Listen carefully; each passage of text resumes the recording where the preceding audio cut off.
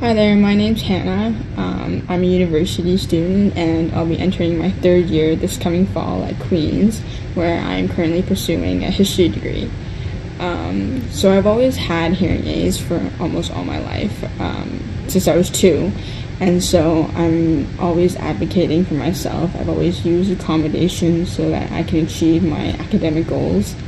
Um, and so I was very lucky enough to receive the scholarship for my first two years at university.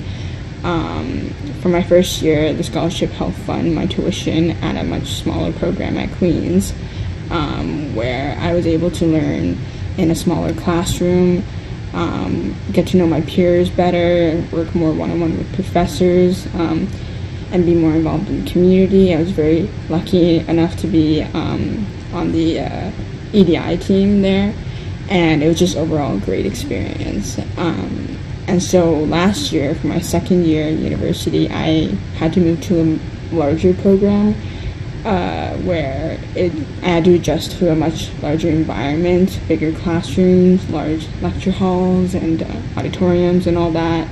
And so this scholarship really helped alleviate the financial stress and so I could focus on my academics and make sure I was keeping up with my schoolwork.